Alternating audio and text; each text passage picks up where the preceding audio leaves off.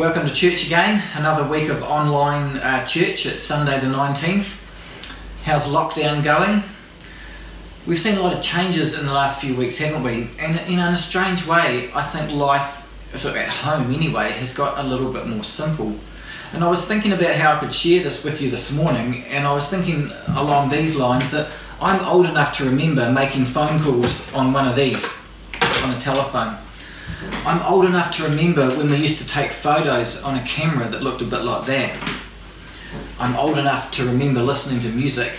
That's my first Walkman. I bought that in 1985. Played tapes. I've even got some tapes left. I'm old enough to remember Viewmasters when you look at pictures in one of these. And I'm also old enough to remember Donkey Kong, an early video game that's from 1982, and I think it actually still works. I'm not a hoarder, I'm really not. But I think of these things, and I remember when I was younger and how life seemed a bit more simple. And I do think, and I'm not trying to minimise the lockdown, I'm not trying to minimise the anxiety and the heartache and the worry and the stress and all the frustration that this is bringing into people. I, into people's lives. I don't want to minimise that. But I keep hearing the same things from people. The board games are coming out. The jigsaw puzzles are coming out. Families are eating meals around a table. Cars are staying in the garage. The recipe books are coming out. People are baking bread. Homes and gardens are getting tidied. Folks are going for walks and they're waving at each other, and this is all good stuff later on in the service, Andy's going to be talking about simplicity and about how Jesus can bring a simplicity to our lives and not to focus on materialistic things. And there's one Bible verse I want to share with you, which is our call to worship today, and it's 1 Thessalonians chapter 4, verse 11. And it says, Make it your ambition to lead a quiet life. You should mind your own business and work with your hands. Now, that's not a Bible verse that's telling us to be boring. It's telling us just to lead a life that Jesus wants you to lead. Keep it simple and enjoy having a faith in a Heavenly Father who saved us. We're going to sing a worship song now.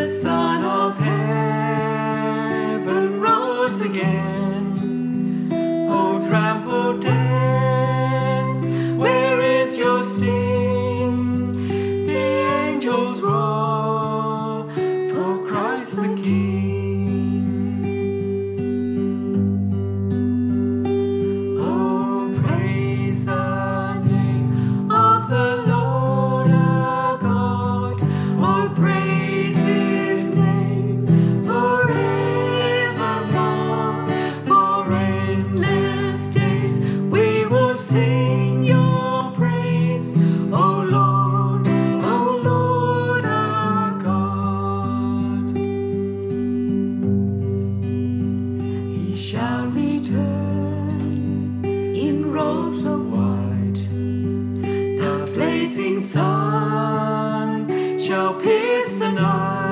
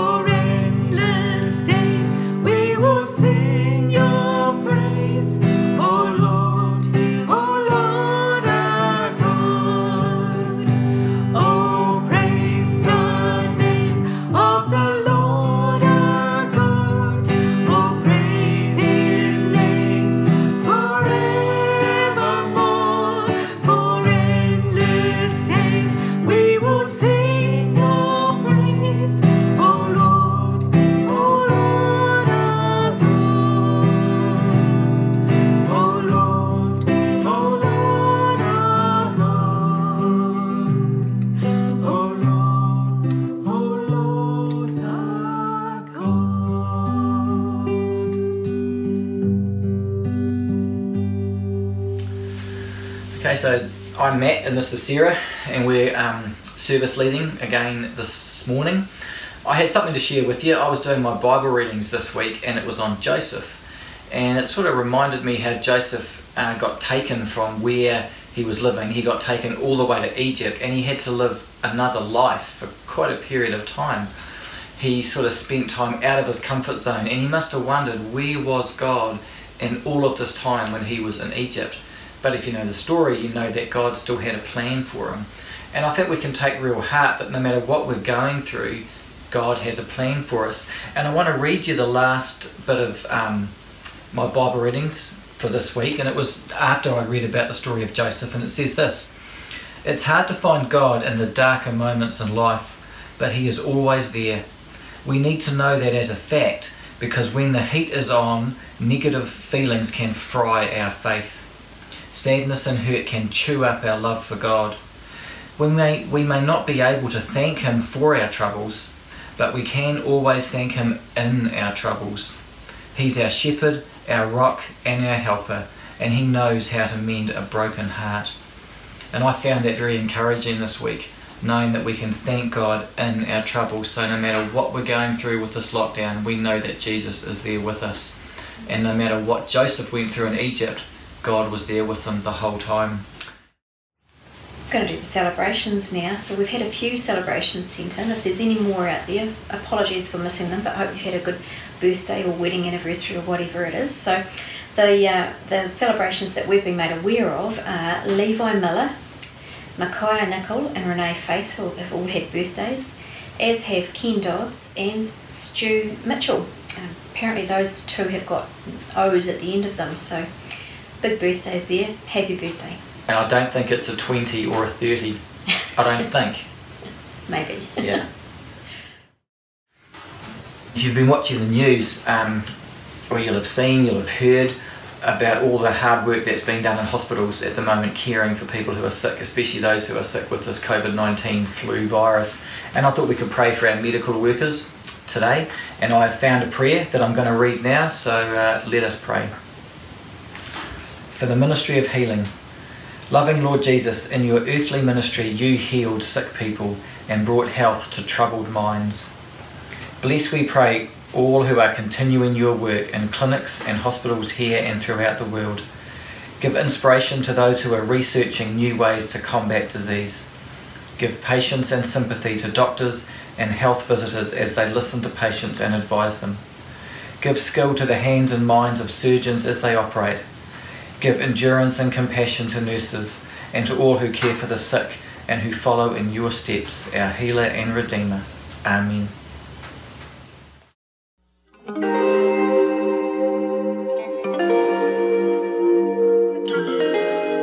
thing from being in lockdown is spending time with my whānau. We've been getting to do lots of crafts and we did Easter theme. One good thing that's come out of um, being in lockdown for us is that we've had the time to go for a walk around the block together every day. Uh, we've spent more time with the family, and especially me, uh, being as I've always been very busy with work. One is still busy with work now, but we get to do very interesting things, you know, playing board games together that we all love and reading together and telling stories and um, also doing simple things like going for a walk to the beach together as a family. We tend to bond during this period, so that's very, very good. It's been very exciting to do that.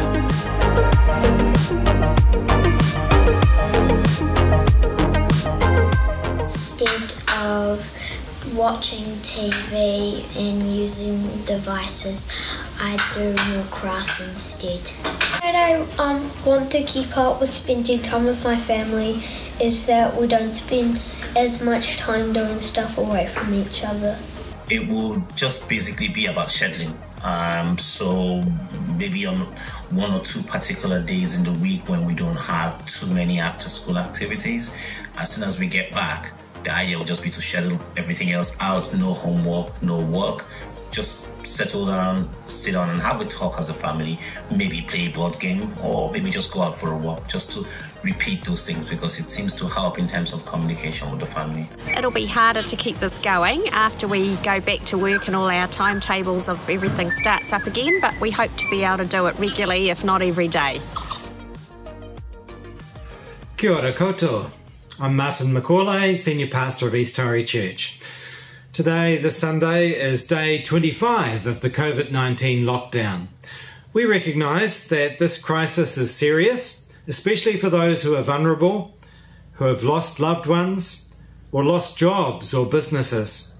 But we also recognise that God is at work, helping us to grow as Christians and even thrive through this time. We have much to be thankful for. I've been impressed at how resilient you've all been and how you're encouraging each other, even while physically isolated. As a church, our three priorities during the lockdown have been first, getting our worship services and programs online. Secondly, ensuring the church family are as well connected and supported as possible. And thirdly, being open to the ways that God's leading us to show Christ's compassion and care to our communities. Let me update you on progress. First, a huge thank you to all who've contributed to the amazing video for our video stream church services, for lovely children's stories and creative activities, including mainly music online. I've loved seeing familiar faces cheering us up and helping us trust God. We've had as many as 900 people view our morning service and over 400 people view Epic on Sunday evening. This is a huge achievement. Some youth and children's programs have been put online and we're working on more. There have been lots of encouraging comments and emails, so thank you for engaging. We've phoned or emailed everyone now who was not previously in a small group, a life group, to see if they want to join in one of our new care clusters. The idea is that everyone is connected by phone or internet with someone in the church so they can encourage each other in following Christ during the lockdown. Now, not everyone's felt the need of this, of course, but there are now 31 clusters ranging from 2 to 16 people each, plus our 21 small groups uh, and the various clusters at Fuel. We do want to hear if there are any pastoral needs. Please phone the church office or contact the prayer chain so that we can pray and so that we can help.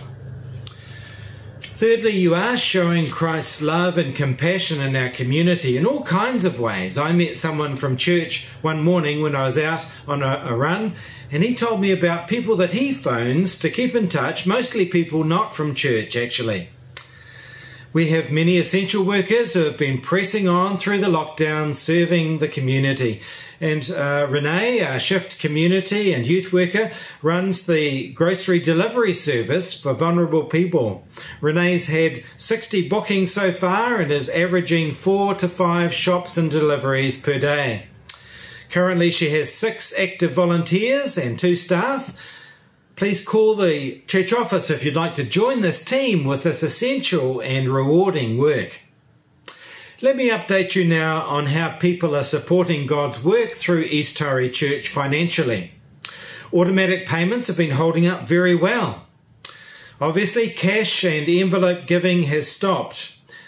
We're encouraging people who used to give this way either to change to automatic payments through their bank or to simply put your envelope somewhere safe each week until the easing of restrictions allows you to give this way again.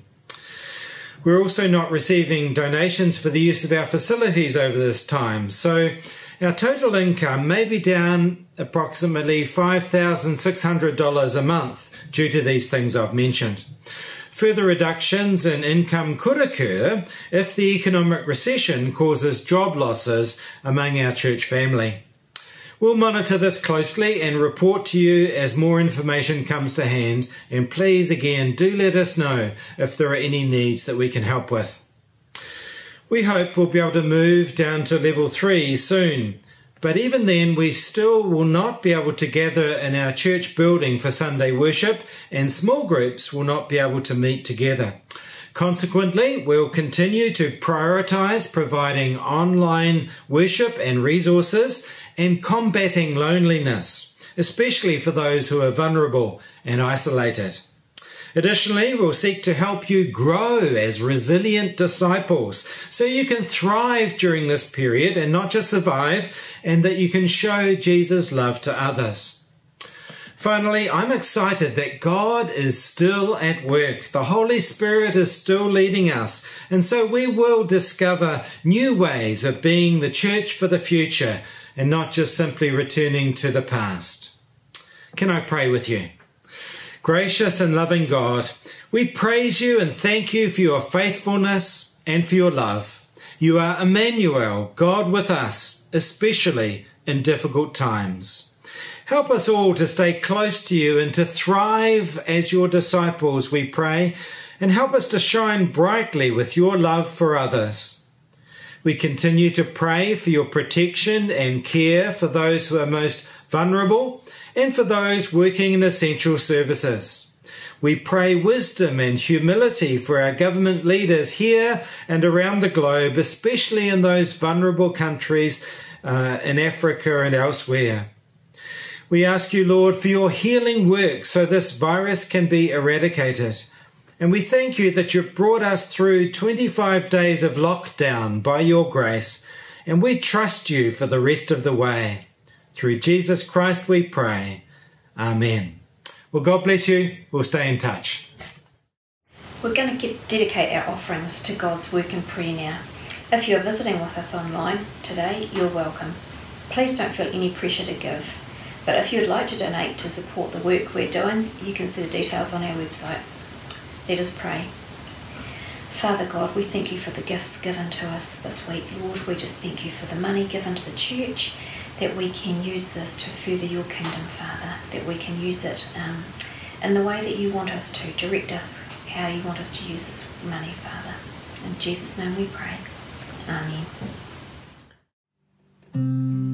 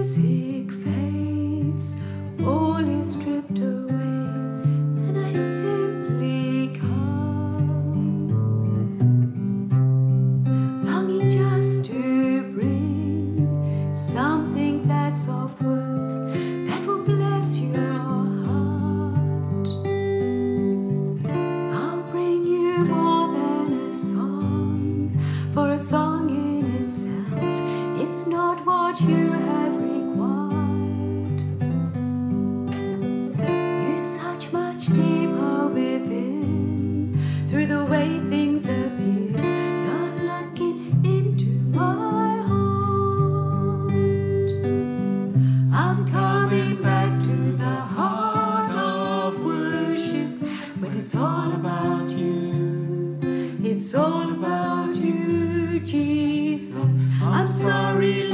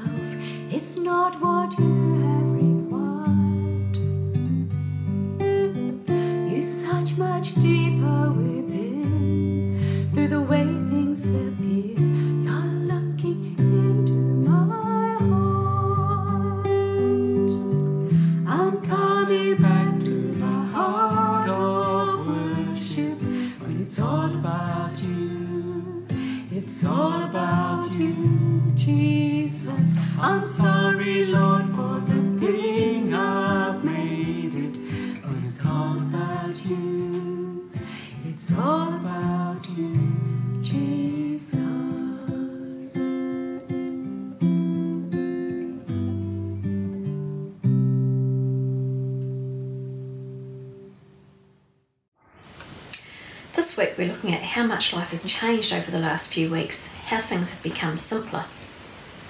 I know that in our house we've been doing lots of things gardening, baking, tidying up, craft, puzzles, games, you name it, we've been doing it. And I've decided it would be really hard to do these activities without two things without your hands. And this got me thinking about the next part of the Easter story what came next, and it wasn't more Easter eggs and hot cross buns. Remember, Jesus rose from the grave. Pretty exciting, eh? Imagine seeing him die, and then next thing he's alive again. Pretty cool. And uh, he went to hang out with some of his friends, his disciples, but not all of his disciples were there. There was one that was missing, and his name was Thomas. And because Thomas didn't see him, he didn't believe that Jesus had risen. He said, Until I see his hands, put my fingers through those nail holes and see this, and put my hands in his sides, I'm not going to believe. I won't believe it. And eight days later, Jesus appeared to the disciples again, and he went straight over to Thomas and he said, Examine my hands. And Thomas stuck his fingers into his hands and he stuck his hands into the sides, the wounds at the sides of Jesus. And then Thomas believed. And Jesus told Thomas he believed because he'd seen. He also said that there are huge blessings for those of us who believe without seeing. Imagine, imagine the blessings in store for us. Isn't it cool to think that if we believe and trust in Jesus, our lives are going to be awesome and we don't have to worry about things? I've seen an activity on Facebook, a lockdown activity, which you might like to try at home. All you do is you draw around the hands of everybody in your bubble. So there's Emma, Ashley, Sarah, and Matt, and then stick them together. And down the bottom there, I've written Lockdown 2020. This will help you to remember it if you need if you need help. Mine's actually a wee bit different. So this is what the Facebook one looked like. And then I've actually added another hand to mine. Can you see that there? That's Jesus. And this helps us to remember that Jesus has got this. He's in control. If we trust in Him, He's holding our hand through this. He's got it. And that is just awesome to know that we've got that extra blessing there with Jesus looking after us. We're just going to pray now for the young people as they go out to Kids Zone. Go out to Kids Zone. Flick over to your programs. Um, there's Plunge and Kids Zone available through our Facebook page. So let's just pray. Father God, we pray for the young people now, Lord. We just ask that um, you're with them, that you help them to learn, to grow more in you, and to ask questions, Lord, and to know and believe and trust in you. Bless their teachers today, Lord. In Jesus' name we pray. Amen. The Bible reading today is from Matthew 6, verse 19 to 25. Don't store up treasures here on earth, where moths eat them and rust destroys them, and where th- thieves break in and steal. Store your treasures in heaven, where moths and rust cannot destroy, and thieves do not break in and steal. Wherever your treasure is, there the desires of your heart will also be. Your eye is a lamp that provides light for your body. When your eye is good, your whole body is filled with light. When your eye is bad, your whole body is filled with darkness. And if the light you think you have is actually darkness, how deep that darkness is. No one can serve two masters, for you will hate one and love the other.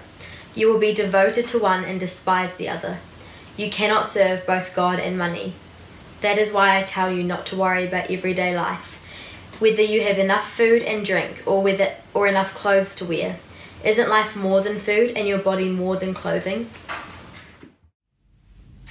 Well, good morning, church. It sure is a privilege to be able to bring God's word to us this morning. As I was sitting this week right here at my dining room table, I couldn't help but reflect with everything that's going on in the world and in our community with regards to COVID 19. I'm sitting at my dining room table writing a sermon for today in times that I never, ever, ever dreamt that I would ever have to face.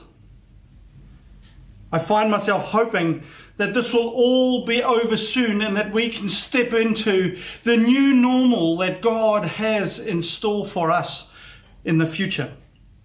I find myself wanting to go to the shops. If I'm selfish, I find myself wanting to go to Mitre 10 in particular. I never dreamt that I would run out of screws and supplies because I, I kind of have a habit of having heaps of those. But I find myself that I need to go to Mitre 10 for some projects that I have dreamed up over this time. I mean, I need supplies and I don't think I'm alone in needing to get out and go and, and get things that we, in every other week of our lives, have been able to just pop down to the shop and go and get. As I sat reflecting on this, it hit me that therein lies the exact problem that I want to speak into, that I believe God wants to speak to us today about. And that that's desire to always want more. As I sat here wanting more, even though at this particular time in my life and our lives, I cannot have any more except for what the government has deemed as essential. In fact, the past few weeks has forced me and the large majority of us to live a simplified life, to make do with what we have and not dream up some elaborate new thing that needs that needs every whiz pop thing bang known to man or that money can buy. What the last few weeks has highlighted for me is keeping things simple has fallen on hard times in the world we live on and in today. The idea of a simple lifestyle. We love the idea of this simple lifestyle. However, we love too the option of having choices. Jesus, however, teaches us that freedom is not found in having everything that opens and closes, that has lights and buttons and bits and bobs. Freedom is not found in having heaps of things to do or activities to fill our life. In fact, I remember years ago, a friend of mine would always say, He who dies with the most toys wins. Life is not about filling our calendar or having all the toys that keeps us so busy, but rather life is about keeping God and His will first and foremost in our lives. I always believe that I, you should never preach a message that you have not chewed on and battled with yourself. And I had to sit back this week and think is having some toys, or in my case, tools, I love tools, is that such a bad thing? And when I was honest to myself about it, it depends on the heart that is behind the situation or the toy or the tools. Listen to today's scripture again, Matthew 6, verses 19 to 21.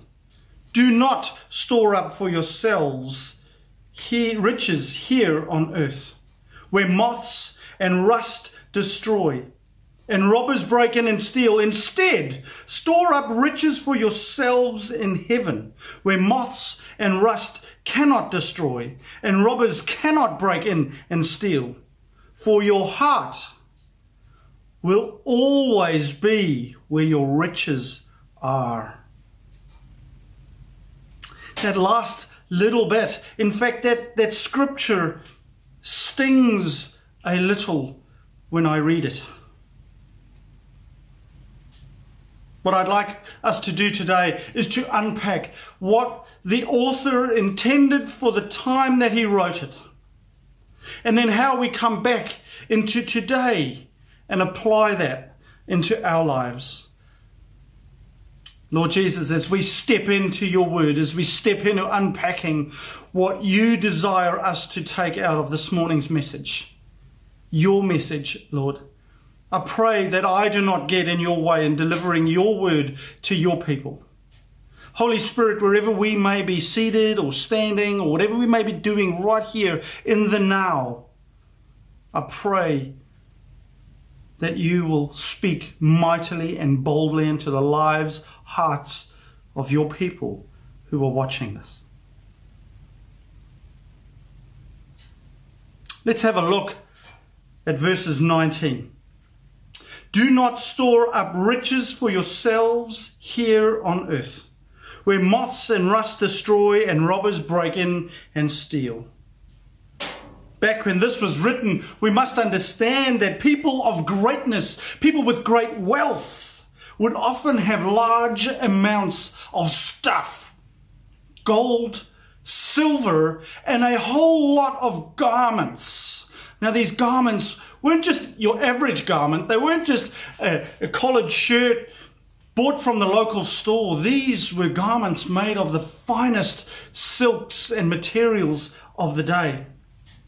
The problem, however, with silk is that often it is eaten by moths, and, and if it got a little damp, it would rot. In fact, many years ago, when I was still in the skydiving business and rigging skydiving parachutes and reserve parachutes and manufacturing them, I remember back to the day where, where parachutes were made of silk. And for the very reason that silk rots and decays, is why we had to repack our reserve parachutes every six weeks because if you'd used your reserve parachute and any organic matter, like a piece of grass, got in there and you didn't clear that out, that would start a decaying process, a rotting process within the, in the silk. If at any point it was stored in a, a damp place, we would have to repack it because it would start to rot. And let's just be honest, who wants to jump out of any aircraft with a rotting, decaying parachute? Now, I know that many of us who are, are, are, thinking about the gold and the silver are thinking that they don't rust. I know this, and believe it or not, so did the author of the day know that silver and gold don't rust.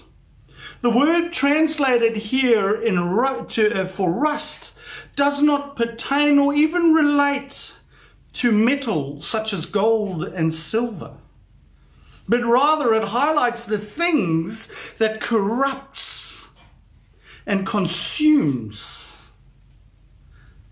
Such as if you know corn or eh, if, if it got mildew on it, it would start to decay. It would start to eat away at it. Or for example, varmints in granaries where well, we don't need to go into too much expla eh, eh, explaining there, but it's not a good thing. The gold and silver here refers to what thieves would break in and come and steal and take away. So what does this mean for us today? If we jump across the river and into our time, here and now, Jesus in this verse, I believe, is challenging each and every one of us to live a simple life. A life filled with peace and simplicity. Where we do not fixate on worldly wealth or things and places. Jesus challenges us to put Him first in our calendar to free up some space for Him. Jesus here in the scripture is challenging us to not hoard up treasures in the here and now, and He is warning us against that covetousness of our worldly mindedness, that wanting, that desiring, that need to have more. Often we hoard up treasure, troves, for the future. And in this moment, Jesus is stepping in and reminding us that it is of no use to him in the here and now. In the same way, in Mark 10 verses 21 challenges the man. Listen to this. Jesus took him and loved him. One thing you lack, he said. Go, sell everything you have and give to the poor and you will have treasure in heaven. Then come, follow me. Now, we don't know what happened to the man because the Bible just tells us in verses 22 of Mark at this time the man's face fell. He went away sad because he had great wealth. Here in Mark, Jesus challenges the man in a way that would be understood, that he, the man, would understand. He says to him, Go and sell everything. He knows that the man is wealthy, he knows that he has much. He says, Give up your treasure trove. And the man walks away saddened. So what are we to do? In verse 20, the rubber kind of hits the road. Instead, store up riches for yourselves in heaven, where moths and rust cannot destroy, and robbers cannot break in and steal. What does that even mean? What does it mean? What am I to do? Am I to sell everything like the rich man is challenged in Mark? Well, maybe. Maybe if your heart desires more money, more goods, more things than it does desire Jesus and His will for our lives, hey, maybe. I'm not saying go off and do that. Don't do that. Jesus here is challenging us that we are to pursue riches, joys, and glories of another world which infinitely excels everything that is valuable in the here and now. here in this world. He's challenging us to store up riches in heaven that could never be corrupted. It could never decay or corrode or rust. It could never be taken away. Jesus is simply challenging us to lift up our hands and with them everything that we own, everything that we are, and put the whole bang, shoot right into his hands. This is the very challenge that Jesus put to the man in Mark. Put your life in my hands. Trust me. Give me control. The man could not give up control for his riches were of greater value than the relationship with Jesus. Listen to Luke 12, verses 33. Sell your possessions and give to the poor. Provide purses for yourselves that will not wear out. A treasure in heaven that will never fail, where no thief comes near and no moth destroys. When we put our treasure trove into the hands of Jesus, it will never wear out. Jesus will never fail us. And no thief could ever come near to taking it away. No moth could ever destroy it. You see, Jesus challenges us to get rid of the rust in our lives that is creating decay, that is killing, that is stealing, that is robbing our relationship with Jesus. In the same way, Jesus challenges the rich man to sell everything because the riches are his issue in life, his God, his, well, where his heart is. That was the very rust that was coming between him and Jesus. In the same way, we are challenged by this piece of scripture to examine ourselves, to be honest with ourselves. We cannot hide the truth from Jesus. He already knows the truth. We are to examine, be honest, so that we can see the rust, the decay of what is between us and Jesus. And why should we do this? For your heart will always be where your riches are. Where our heart is, our riches are. Living a life of simplicity frees us from the clutches, the decay and the rust of this world. A life of simplicity, simply believing in and trusting in Jesus sets us aside to be used mightily by Jesus in and through the power of His Holy Spirit in the here and the now. That's why I said a little earlier, having some toys, having some tools, there's no bad thing in that. There's no bad thing in having wealth or riches. But when we can let it go, when we can serve Jesus with our hands wide open, not hanging on to things and worrying about them, all of a sudden we can serve Jesus not with, with a, an idea, but with everything.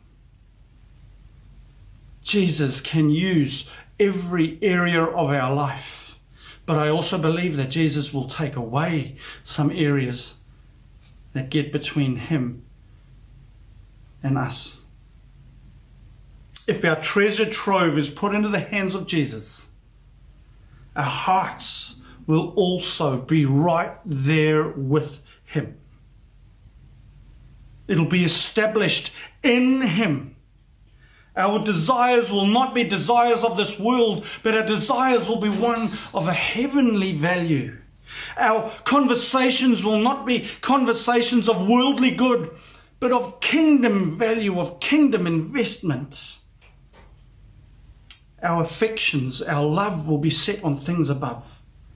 Our conversations in kingdom value while we are here on earth. And it is in this space, this space of utter simplicity, of giving over to Jesus. It is in this space that Jesus has everything. It's in that space where we find happiness. You see, a life deeply rooted in the will of Jesus is a life filled with simplicity, peace, and purpose. In that life, we always put Jesus first in our calendar. In that life, in that space, we always seek His will. We always seek to invest in His kingdom. My challenge to us today what rust in your life? What rust in my life as I chewed on this very topic this week is stopping us from living a life of simplicity, is stopping us from living a life that's so desires Jesus. What rust is in your life? Maybe you watching this today Maybe you're joining us and you, you might be thinking, who is this Jesus? I, there's so much in my life that I need to put down that I don't want to carry anymore. I want this life of simplicity. Well, I want to speak to you just for a moment. If that is you and you've never committed your life to Jesus, I want you to join me in just saying a simple little prayer. Lord Jesus, I desire this life of simplicity. I surrender all into your hands. I step out of my old self and I clothe myself anew in you. Have your way May your will be done in and through my life. In Jesus' name. Amen. There may be some of us, like me, who this week has been have been challenged by some areas. You may be believing in Jesus. You may be a Christian for many years, but you know that there's some parts, there's some rust and corrosion left in your life that is coming between you and a life of simplicity. I want to pray with you this morning as well.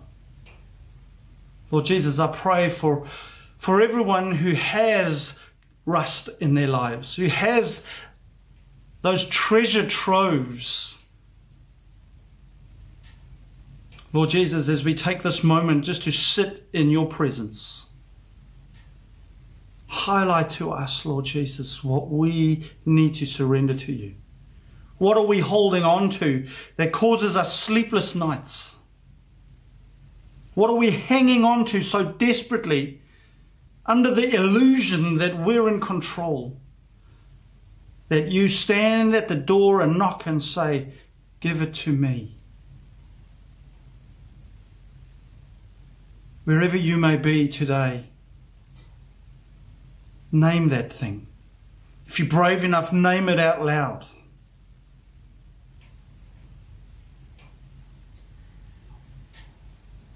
Lord Jesus, even you know our hearts. I pray that all those things that have just been named, be it out loud or be it in the silence of our, our own thoughts, I pray for freedom. Holy Spirit, come and step into those spaces. set people free from that corrosion, that rust, those treasure troves that come between you and us. And we step in to a renewed life found in you as we surrender everything in our lives to you.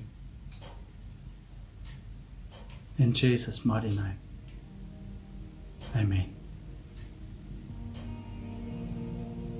A life found in Jesus is a life surrounded by simplicity, a life surrounded by serving others, giving up our gifts, our talents, our finances to help those around us.